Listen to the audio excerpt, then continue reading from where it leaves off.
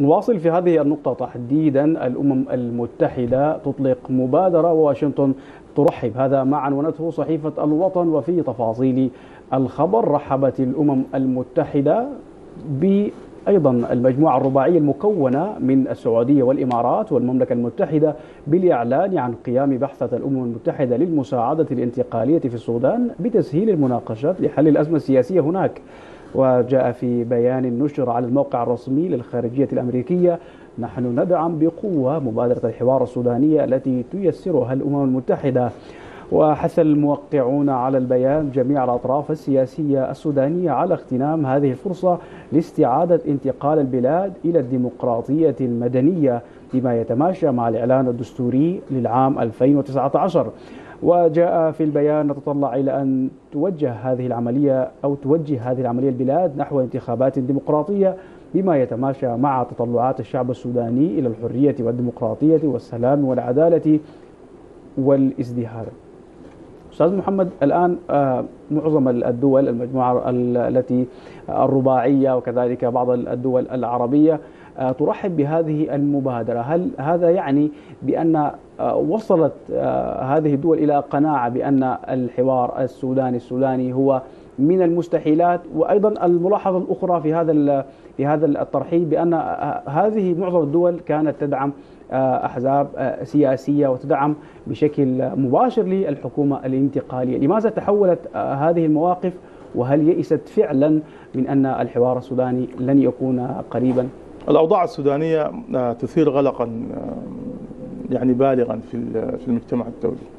وانهيار السودان في هذا التوقيت أنا أعتقد إنه لن يكون خيارا مناسبا بالنسبة لي العالم. وهنالك قوى كثيرة جدا لن تسمح بهذا الانهيار. من واقع إنه هو آه، بيأثي ويرتبط ارتباط كبير جدا بمصالح حيوية لعدد من الدول آه، من حولنا. في وقت فيه الأوضاع بتشهد آه، يمكن الأمنية والسياسية بتشهد تراجع كبير جدا. في على مستوى على مستوى الإقليم. ولذلك الشأن السوداني الآن شأن يعني بي يهيمن وبيسيطر على اهتمامات العالم والمطابخ الدولية شغالة يا محمد. أنا حينما تحدثت عن أنه آه هذه الدول المملكة المتحدة الأمارات السعودية الولايات المتحدة رحبت رحبت بهذه الخطوة آه يعني قبل أن تتسلم الأطراف السودانية المبادرة. وهذا يعني أنه في تنسيق كبير جدا بين الأمم المتحدة وبين هذه الجهات. وربما آه كانت المبادرة التي أطلقتها وأعلنتها الولايات المت... الأمم المتحدة آه يعني هي تتويج لجهود ولإجتماعات وللقاءات ولأعمال متصلة آه، لهذه الدول فيما بينها في محاولة طبعا لإيجاد مخرج من الأزمة السودانية. الحالية. معروف أنه كل هذه الدول لديها ارتباطات بأطراف داخل المشهد السوداني كانت بتحث هذه الأطراف. رأينا هنالك حراك كبير جدا لفولكر هنالك حراك كبير جدا للأمريكان. اتصالات من قبل وزير الخارجية الأمريكي بمجموعة كبيرة جدا من القادة العسكريين والقادة المدنيين. هنالك لغايات للسفراء السفير السعودي بأطراف عديدة في المشهد السوداني خلال الفترة الماضية. ولذلك كان أفتكر إنه هذه الدول ليست بعيدة عن المبادرة المبادره الأمم المتحدة التي تشير إلى أن هذه الدول يئست من أن يكون هنالك حلا سودانيا آه، للأزمة الموجودة الآن. وربما كانت السودان الآن أنا أفتكر أنه هو ملعب للاستخبارات الدولية والسودان الآن تحت نظر الاستخبارات الدولية هي ترى ولديها من المعلومات التي تؤهل السودان للانزلاق وللدخول في دوامة العنف ودوامة الدماء ودوامة الصراعات. وربما تكون هذه الدول حريصة جدا على لا تتكرر السيناريوهات التي حدثت آه، في البلدان القريبة في سوريا وفي اليمن وفي ليبيا. وفي العراق يعني جملة كبيرة جدا من الحيثيات التي تشير إلى هذه الدول بالفعل لديها ارتباط كبير جدا بقرار فولكر وهي سترمي بثغلها تماما خلف آه، هذه المبادرة وربما استفادت من تأثيرها على الأطراف السودانية في الجلوس إلى آه، مائدة حوار سودانية بترتيب أو برعاية آه، دولية أو برعاية أو بتسهيل آه، من الأمم المتحدة إذا جلست هذه الدول مع بعض مع بعض الأحزاب السياسيه والفرقاء السودانيين الآن أين آه، موقع الشارع؟ هل آه، ترى بأن الشارع بوضعه الحالي يقبل بهذه المبادرة؟ هو الآن نرى لافتات في في التظاهرات وفي المواكب ترفع شعار عدم التدخل في الشأن السوداني محمد هذا الشارع أنا في تقديري أنه هو شارع حر وشارع ديمقراطي وشارع لديه كثير جدا من الأهداف النبيلة ولكن آه، هنالك أحزاب كثيرة جدا تقف خلف هذا الحراك الحراك السياسي الموجود الآن.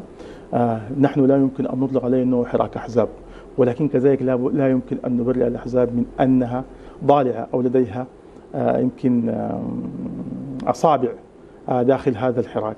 هذا الحراك أنا أفتكر أنه بيحتاج إلى أوعية سياسية تحيله إلى مبادرات وتحيله إلى برامج لتحقيق التغيير المنشود والتغيير المطلوب.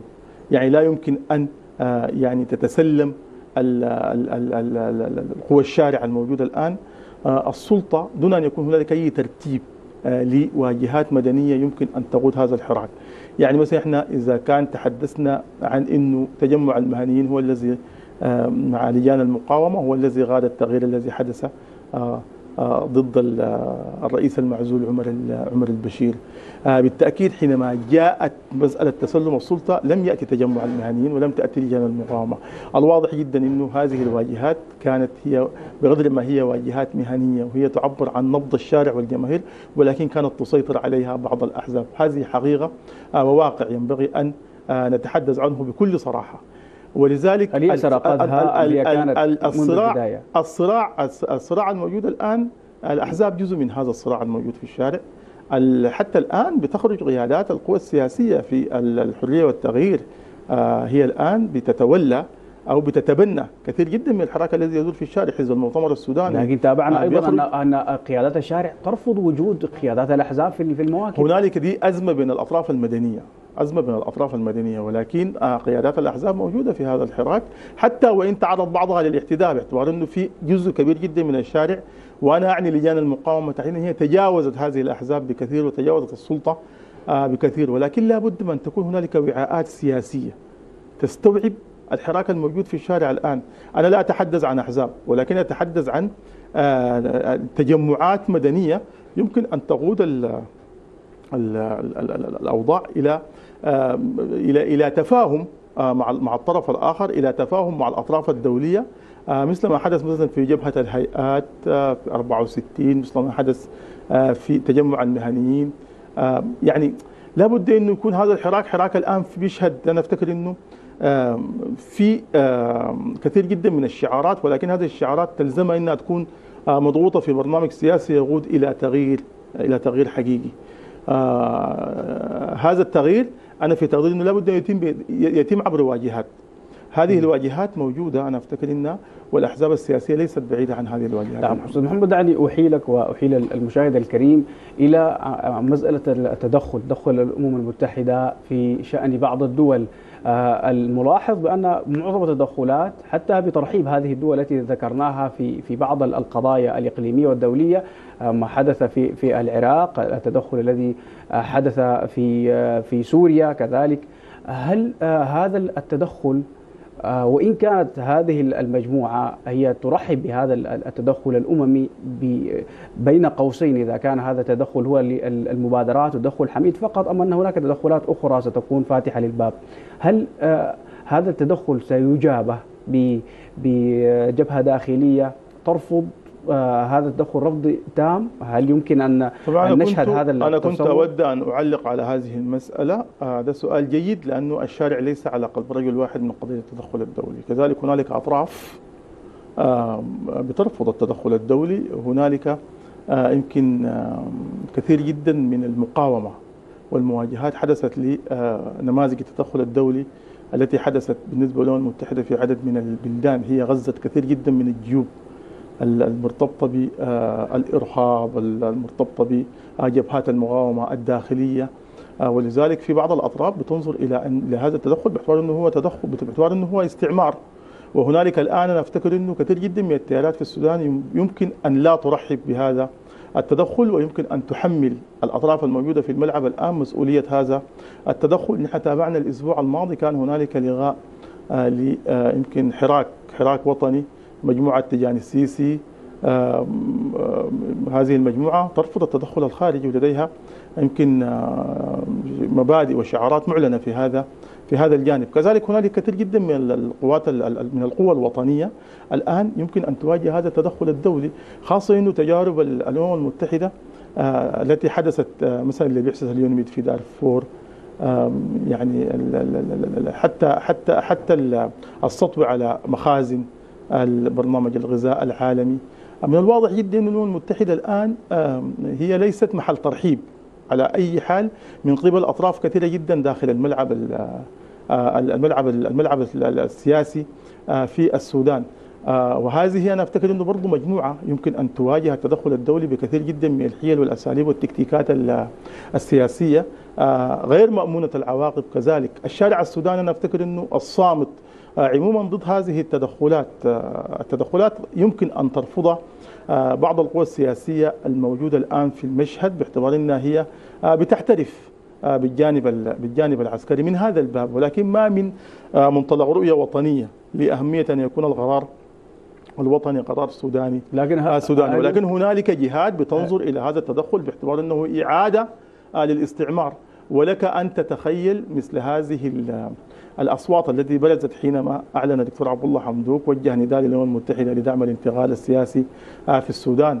يعني يمكن أن قامت الدنيا ولم تقعد أستاذ محمد في ذلك الوقت. أن يغرد السودان بعيدا عن سرب المجتمع الدولي؟ الآن العالم أصبح دولة واحدة وكل دولة تؤثر في في الأخرى.